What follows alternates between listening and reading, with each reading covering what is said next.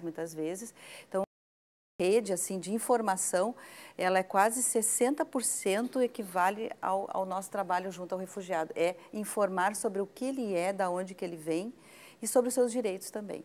Karen, me parece que tem duas situações diferentes que tu mencionou.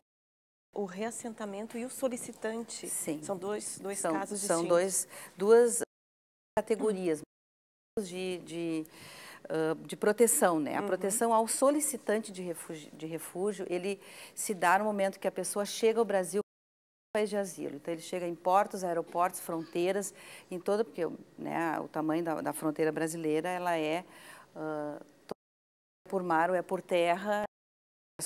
E essa... essa seria o caso dos haitianos, por exemplo, que Sim. vieram depois de 2010. Sim. Os haitianos é um Hum. caso de, de visto, né? Uhum. Vocês já, já devem ter visto, que é um, É uma uma outra- de, de imigração diferenciada.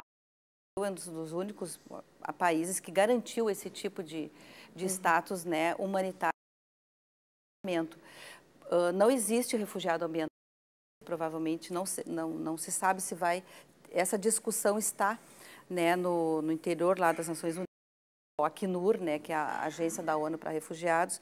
Existe uma discussão, existe uma demanda mundial muito grande, mas em razão da preservação do Estado, da, da, da, da configuração legal do direito internacional do refugiado, então ãh, não se vai ampliar, a princípio, para ambiental. Vai se criar talvez uma outra nomenclatura né, de proteção para essas pessoas tipo haitianos. Né? E essa garantia da, dos haitianos, ela, tecnicamente, ela pode ter sido extrapolada para senegaleses, ganeses e outras culturas que estão tendo o mesmo destino de entrada para o Brasil? Uh, ex existe uma demanda, sim. O que, que aconteceu no último mês de setembro, no dia 10? Aconteceu uma reunião, porque quem define o status que não seja refúgio, porque o refúgio é o CONARE, é o órgão multi- multiministerial ligado ao Ministério da Justiça. Então, trata do refúgio, tá? Só do refúgio. E a questão migratória toda é tratada pelo Nacional, o CENIG. Então, em setembro foi levado por essa questão dos senegaleses e haitianos, principalmente senegaleses que não têm ainda uma documentação, um status definido. Ah, a Secretaria da Justiça do Estado, através do Comirá, migrantes, refugiados, apátridas e vítimas do tráfico de pessoas, na pessoa da, da diretora de Direitos Humanos, doutora Tâmara, levou ao conhecimento do CENIG a questão dos senegaleses aqui no Estado. Foi o primeiro Estado a ter esta, ah, esta posição de demanda, demandar o CENIG para definir uma... Porque são mais de 900 pessoas, em, só em Caxias e Passo Fundo, mais um... Isso registradas, fora as que estão né, com algum temor de serem identificados, porque existe isso, né, e ficam meio na, na, na transparente. Existe mais de mil pessoas nessa situação. Então, essa demanda foi levada ao CENIG e, e- e tem que se definir. Então, existe já uma, na próxima reunião, agora de outubro, aconteceu em novembro, deverá ter uma, uma definição do CENIG, qual o encaminhamento que se para os senegaleses, né? recursos financeiros e humanos para lidar com esse com- essas demandas todas, caso aí dos haitianos, né, chegavam pelo, pelo Acre, ficaram numa cidade que já mal tinha estrutura para dar conta da sua população. Como é que o Brasil está atacando esse problema? O Brasil está atacando ah, exatamente, né? Então a, a questão dos haitianos, por exemplo, foi é ruim e é boa. Foi boa no sentido que está tornando ah, visível essa preocupação no Brasil. Então tanto lá no Acre que até de- decretaram lá o estado de emergência em função do número de pessoas circulando na cidade. Então se não isso, as pessoas- e talvez se fosse 100, 200 pessoas, o impacto seria pouco e a coisa ficaria por isso mesmo. Mas a- o fato do haitiano, de dois anos para cá, tem, tem ah, detonado um processo de responsabilidade do- das instâncias de Estado. Né? Então, governos, federação e municípios estão, porque, claro, está batendo na porta o problema. Então, tem que se, se criar, então, ah, definir e buscar a criação de políticas públicas específicas para atendimento. Né? Ah, o que, que existe hoje? Existe uma, uma ah, acesso, educação, mas não existe ações específicas para essas pessoas que estão chegando. Então, o caso haitiano realmente foi assim para detonar um processo de preocupação, né? Então, a, a essa migração, né, que veio, porque daí que se está se preocupando com isso, porque Porque a sociedade civil até agora tem arcado com isso. Uh, historicamente, quem está levando, na, ou carregando o piano do atendimento aos migrantes, refugiados, na sociedade civil, na forma da, das, das, igrejas, da, das igrejas principalmente, que tem um compromisso muito uh, de largo prazo, né? não é um compromisso. Então, assim, a igreja arca, as, as entidades, instituições arcam com uma responsabilidade uh, que está demasiada já. Por quê? Porque é com recurso da igreja, com recursos de doações e tal, é um trabalho que está sendo feito até agora muito, né, o, o Pablo pode nos dizer que a, a, a congregação escalabriniana, que tem uma rede, que tem por missão o trabalho junto a migrantes, está já sobrecarregada, principalmente é, em padres, irmãs e nós também leigos. Leigos também. Nós leigos, por exemplo, trabalhamos com isso em mais de 30 países. Vemos a dificuldade, vemos de que no caso de Brasil, Rio Grande do Sul, aquela mudança que tu estava uh, colocando, feliz de ouvir. A questão de estruturas do governo e da sociedade civil estão se colocando, digamos assim, ao par, se sensibilizando e se colocando uhum. a trabalho.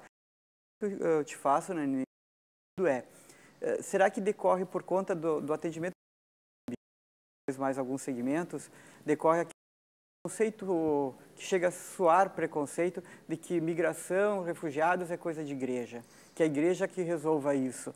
É, é já há uma mudança dessa mentalidade na sua percepção? Nós que trabalhamos com ações vinculadas à igreja, Antônio Vieira e também os escalabrinanos e outras congregações. A nossa função agora, além de atender emergencialmente as demandas que se colocam, política junto aos governos uh, para que haja um compartilhamento de responsabilidades, né? Porque isso que a nossa demanda quando levamos ao governo do estado aqui uh, uh, junto à secretaria da, da, das direitos humanos essa da criação do comitê estadual é para quê? Para que o governo então tenha, né? Se coloque como também corresponsável nisso aí, uhum. porque senão se nós não fizermos da sociedade civil e das, da, da, da igreja, né, das congregações, não fizermos um, isso nós vamos carregar o piano por mais quanto Levaremos o ônus, porque, até porque Exato, a questão migratória está crescendo, tá crescendo, a olhos vistos. Então, assim, é, é, Rio de Janeiro, São Paulo já existem os comitês Curitiba. há mais tempo, Curitiba também, mas assim, o, o único comitê ainda com essa política de atendimento a migrantes, apátridas e vítimas do tráfico é o nosso aqui. Exatamente porque a sociedade civil se reuniu e propôs o governo do Estado e foi acolhido. Né? Então, hoje nós temos um muito uh, interessante de criação, de proposta de criação de políticas no Estado para atendimento a essas pessoas. Porque o que, que acontece? Não é só o que vem grande refugiado. Por exemplo, nós temos agora grandes eventos. Vai ter a Copa, agora temos a, acontecendo, né? ação da sociedade para receber estrangeiros. Ontem mesmo deu no jornal que não tem né, as, as placas, sinalizações, uma cartilha né, com idiomas, assim, é muito pouco.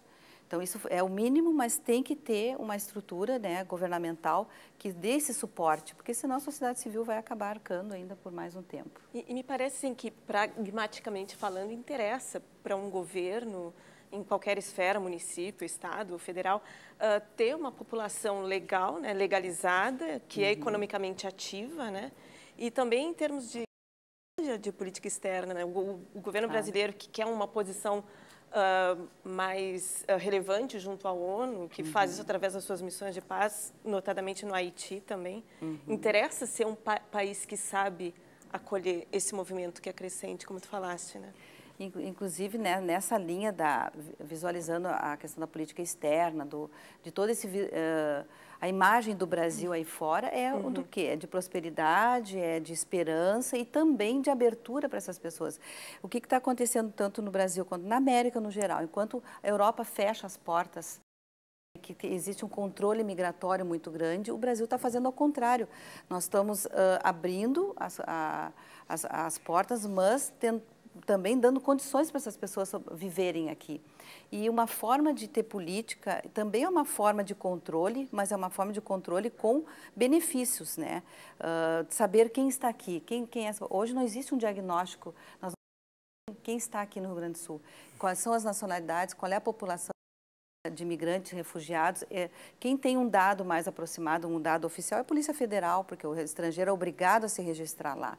Mas fora isso, tem outras pessoas que estão circulando no estado sem sem pertencerem a lugar nenhum, né, totalmente transparentes. Então, uma forma de a gente também uh, sistematizar toda essa parte da acolhida, uh, dar condições para a sociedade civil trabalhar em parceria com o governo, é saber quem são essas pessoas e quais demandas porque a ideia é incluir essas populações na criação das políticas, né? Porque nós não adianta nós estarmos em gabinetes criando ações, ideias bacanas, achando que está uh, cobrindo uma, uma necessidade. A questão migratória acaba atingindo outras situações humanas bem, digamos assim, bem cruciais que a gente vive. O tráfico humano, a questão uhum. das drogas, a questão do comércio ilegal. Uh, como é que tu vê, assim, por exemplo, um aspecto que me preocupa muito, como é que estamos nós pensando a questão vulnerável do uh, refugiado a se tornar um escravo? Situações de escravidão. Uh, esse é um risco, em outros países já existe esse risco, quando não há um controle social sobre isso. Por isso que a incidência da sociedade civil é importante, porque o governo não está em todas as pontas. Nós estamos. Né? A rede de proteção social ela é ampla. Então, assim, quem vai evitar isso é a sociedade civil, que vai denunciar e vai as autoridades para que isso seja né, o máximo controlado. Uh, há situações, houve situações de denúncia de provável trabalho escravo. Aí eu sei que houve, da, da, através da Comissão de Direitos Humanos da Assembleia, uma, missões no interior do estado, onde estão exatamente trabalhando os haitianos, para ver se era isso mesmo que, que foi deflagrado, algum tipo de trabalho escravo. Uh, talvez tenha havido um mal entendido, né? Porque o que, que acontece com populações que estão muito tempo em deslocamento? Elas, as pessoas não estão acostumadas com uma vida formal. Então, acordar cedo, trabalhar 8 a 10 horas por dia, trabalhar sábado e tal. Então, quando eles vêm e se deparam com essa realidade, eu estou sendo explorado. Primeira, porque essas pessoas não foram preparadas para isso.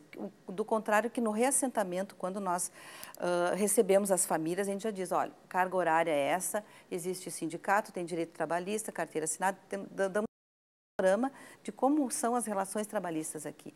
O migrante que vem por conta, no caso dos haitianos e senegaleses, eles não sabem disso. E a empresa, muitas vezes, não tem condições de, de, de fazer essa formação rapidamente. Aí o cara levanta cedo, seis horas da manhã, sete e meia está entrando na fábrica e tal, e de repente ele se depara com uma realidade que ele não estava acostumado. Isso pode detonar um, um sentimento de exploração. Aí ele vai procurar fazer uma denúncia, procurar os direitos, algo assim. Então, uh, as denúncias que, que a gente uh, soube que, que houveram, né, muitas delas não tinham fundamento né, legal, não era uma de fato, mas sim, talvez a questão da hora extra, né? Ah, trabalha mais, duas horas a mais, mas também ganha mais. Então, é eu creio que isso é muito do entendimento do, da nossa realidade aqui. Ok. Eu peço licença, Karen, porque o Frente a Frente precisa, faz agora um breve intervalo, nós voltamos na sequência.